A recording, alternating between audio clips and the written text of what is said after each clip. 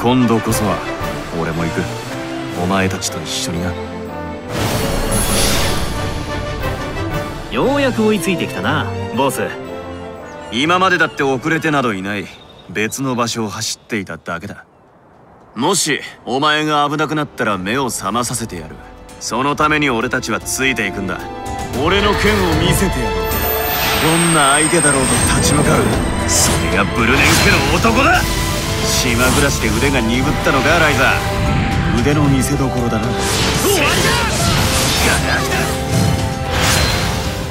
これでやっとお前たちと一緒に冒険をしていると思っていいんだな。